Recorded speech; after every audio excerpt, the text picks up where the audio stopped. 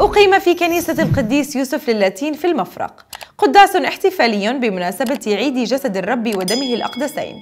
ترأس القداس الأب طارق حجازين بحضور شمامسة الكنيسة وجمع من المؤمنين.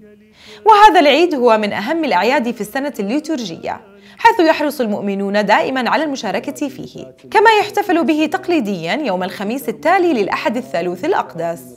القديس بولس بحثنا اليوم كل مرة بدي أتناول القربان الأقدس لازم أبني سر مصالحة في حياتي.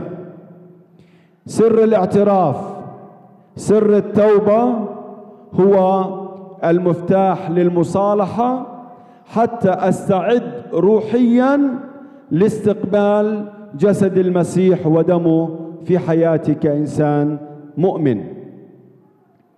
الإنجيل المقدس بيحكي لنا كمان إذا قدمت قربانك إلى الهيكل وذكرت أن لأخيك عليك شيئا دع قربانك واذهب أولا وصالح أخاك ثم عد وقرب قربانك للهيكل.